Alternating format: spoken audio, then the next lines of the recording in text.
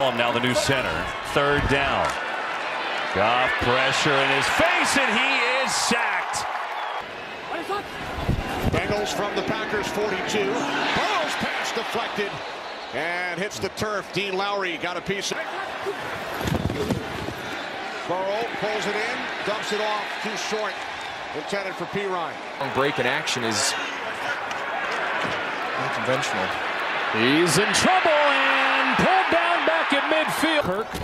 we haven't seen Hopkins since early in the ball game. Out with a hamstring.